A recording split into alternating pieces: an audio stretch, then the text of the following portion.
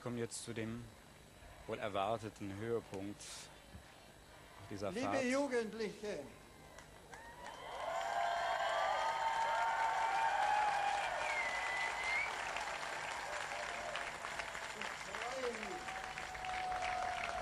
ich freue mich, euch hier in Köln am Rheinufer zu treffen, als Pilger in der Gefolgschaft der heiligen drei Könige seid ihr aus verschiedenen Teilen Deutschlands, Europas und der Welt gekommen. Indem ihr ihren Spuren folgt, wollt ihr Jesus entdecken. Ihr wart bereit, euch auf den Weg zu machen, um selber ebenfalls dahin zu gelangen, persönlich und zugleich gemeinschaftlich das Angesicht Gottes zu betrachten, das, das sich in dem Kind in der Krippe offenbart. Wie ihr habe auch ich mich auf den Weg gemacht, um zusammen mit euch niederzuknien vor der weißen Hostie, in der die Augen des Glaubens die reale Gegenwart des Erlösers der Welt erkennen. Gemeinsam werden wir dann über das Thema dieses Weltjugendtages, wir sind gekommen, um ihn anzubeten, meditieren. With great joy, I welcome you, dear young people.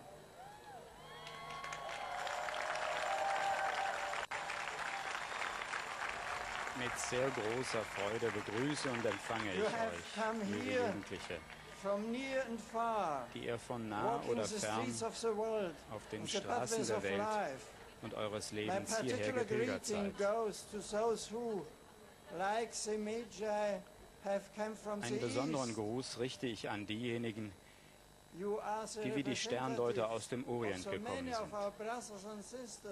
Ihr seid die Vertreter der zahllosen Menge unserer Brüder und Schwestern in der Menschheit, die ohne es zu wissen, das Aufgehen des Sternes an ihrem Himmel erwarten, um zu Christus, dem Licht für die Völker, geführt zu werden. und in ihm die befriedigende Antwort auf den Durst ihres Herzens zu finden. also Herzlich begrüße ich auch diejenigen unter euch, die nicht getauft sind die Christus noch nicht kennen oder have in der Kirche nicht zu Hause sind.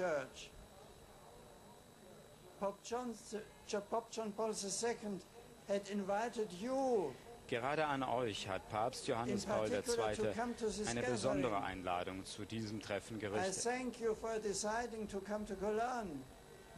Ich danke euch, dass ihr euch entschlossen habt, nach Köln zu kommen. in the words with which Edith Stein Einige unter euch könnten vielleicht die Aussage auf sich beziehen, die Edith Stein über ihre Jugend machte. Sie, die später im Karmel in Köln lebte, ich hatte die Gewohnheit zu beten, bewusst und freiwillig aufgegeben. In diesen Tagen werdet ihr das Gebet wieder in bewegender Weise als ein Zwiegespräch mit Gott erfahren können. Mit dem Gott, von dem wir uns geliebt wissen und den wir unsererseits lieben wollen. Allen möchte ich mit Nachdruck sagen, reißt euer Herz weit auf für Gott.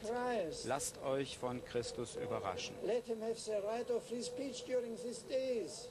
Gewährt ihm in diesen Tagen das Recht zu, euch zu sprechen. Öffnet die Türen eurer Freiheit für seine barmherzige Liebe.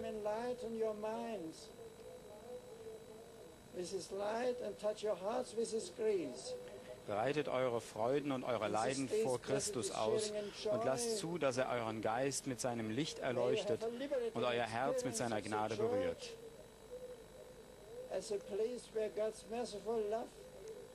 Erfahrt in diesen gesegneten Tagen das Miteinander und der Freude, die Kirche als einen Ort der Barmherzigkeit und der Zärtlichkeit Gottes gegenüber den En Menschen. Cologne, Der Kirche und durch sie werdet ihr zu Christus gelangen, der euch erwartet. Da ich heute nach Köln komme, um mit euch am 20. Weltjugendtag teilzunehmen, denke ich spontan mit Dankbarkeit und innerlich bewegt an den von uns allen so geliebten Diener Gottes, Johannes Paul II., der die glänzende Idee hatte, die Jugendlichen der ganzen Welt zusammenzurufen.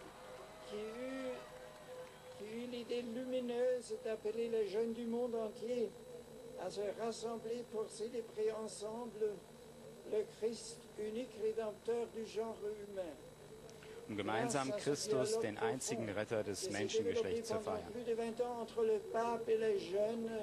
Dank dem tiefen Dialog, der sich in über 20 Jahren zwischen dem Papst und den Jugendlichen entwickelt hat, konnten viele von ihnen den Glauben vertiefen, enge Bande der Gemeinschaft knüpfen, sowie sich für die gute Nachricht vom Heil in Christus begeistern und sie in vielen Teilen der Welt verkünden.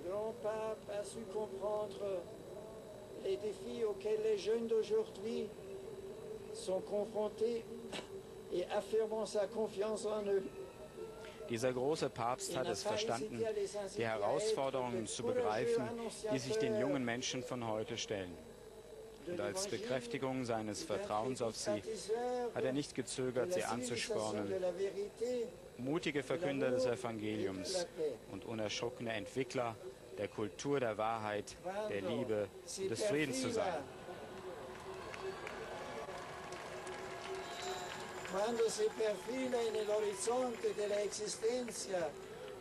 Heute ist es meine Aufgabe, dieses außerordentliche spirituelle Erbe, das Papst Johannes Paul II. uns hinterlassen hat, aufzugreifen.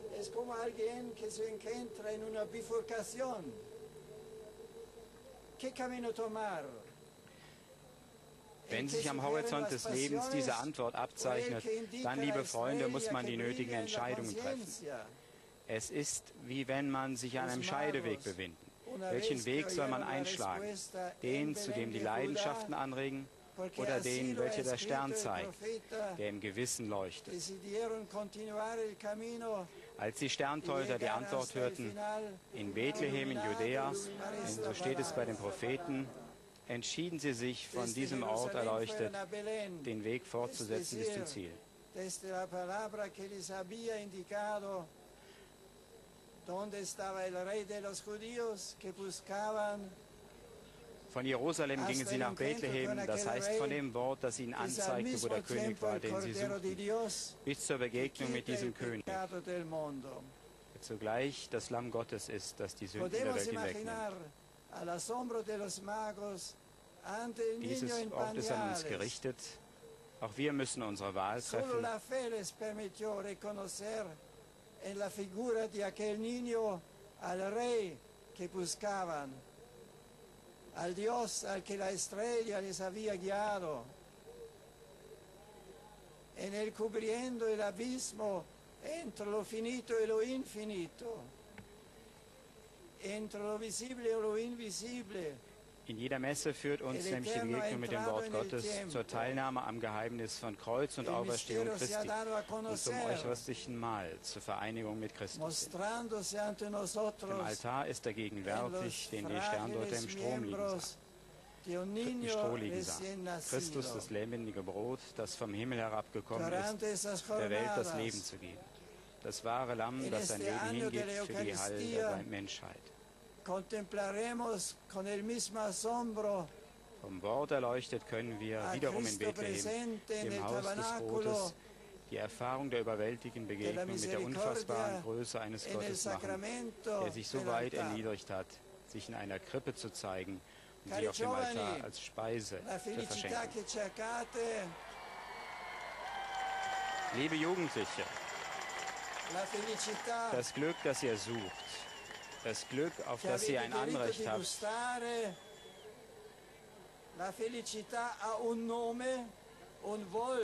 Hat einen Namen, ein Gesicht. Es ist Jesus von Nazareth. Verborgen in der Eucharistie. Er allein schenkt der Menschheit Leben in Fülle. Sagt gemeinsam mit Maria euer Ja zu dem Gott, der sich euch schenken will. Siate pienamente convinti, Cristo nulla toglie di quanto avete in voi di bello e di grande. Ich wiederhole euch heute, was ich zu Beginn meines Pontifikats gesagt habe. Wer Christus in sein Leben eintreten lässt, verliert gar nichts. Erlaubt absolut nichts von dem, was das Leben frei, schön und groß macht. La salvezza del mondo.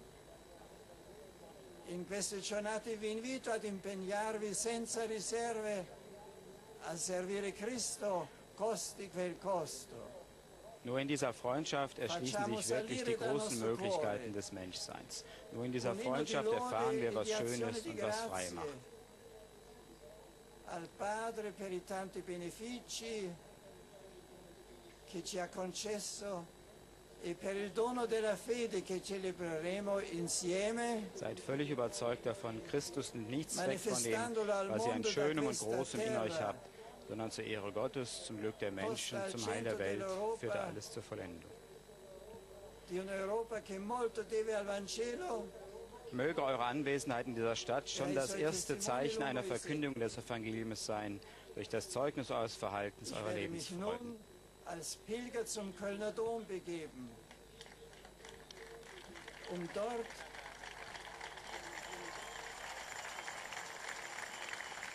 die Reliquien der heiligen drei Könige zu verehren, die, die bereit waren, alles zu verlassen, um dem Stern zu folgen, der sie zum Retter des Menschengeschlechts führte. Diese Reliquien sind nur das hinfällige Zeichen dessen, was die Sterndeuter waren und was sie vor so vielen Jahrhunderten erlebten. Die Reliquien führen uns zu Gott selbst. Er ist es nämlich, der mit der Kraft seiner Gnade schwachen Menschen den Mut verleiht, ihn vor der Welt zu bezeugen. Wenn die Kirche uns einlädt, die sterblichen Reste der Märtyrer und der Heiligen zu verehren, vergisst sie nicht, dass es sich letztlich zwar um armselige menschliche Gebeine handelt, aber diese Gebeine gehörten Menschen, die von der lebendigen Macht Gottes durchdrungen waren. Die Reliquien der Heiligen sind Spuren, jener unsichtbaren, aber wirklichen Gegenwart, welche die Finsternis der Welt erhält, indem sie das Reich Gottes sichtbar macht, das in uns ist. Mit uns und für uns rufen sie, Maranatha, komm Herr Jesus. Liebe Freunde, mit diesen Worten verabschiede ich mich von euch und sage euch allen ein herzliches Auf Wiedersehen in der Vigilfeier am Samstagabend.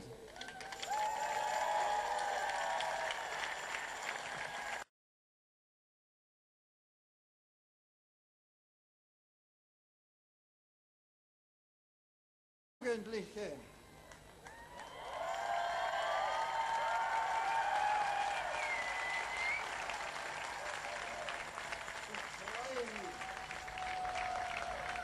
freue mich, euch hier in Köln am Rheinufer zu treffen, als Pilger in der Gefolgschaft der heiligen drei Könige seid ihr aus verschiedenen Teilen Deutschlands, Europas und der Welt gekommen. Indem ihr ihren Spuren folgt, wollt ihr Jesus entdecken. Ihr wart bereit, euch auf den Weg zu machen, um selber ebenfalls dahin zu gelangen, zu knien vor der weißen Hostie, in der die Augen des Glaubens die reale Gegenwart des Erlösers der Welt erkennen. Gemeinsam werden wir dann über das Thema dieses Welt